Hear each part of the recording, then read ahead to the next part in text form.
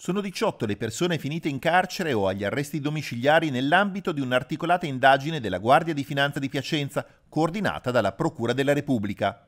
Si tratta di soggetti dediti ad attività di spaccio nella provincia di Piacenza e nell'Interland milanese. Sono anche stati sequestrati 5 kg di marijuana e quantitativi ridotti di cocaina ed hashish.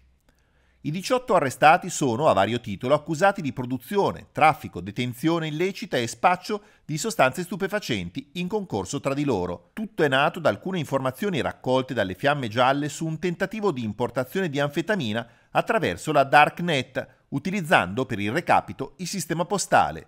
Le intercettazioni e gli appostamenti hanno consentito di documentare vari reati connessi al traffico e allo spaccio di sostanze stupefacenti da parte di soggetti di varie nazionalità, sia in territorio piacentino sia in zone limitrofe della Lombardia.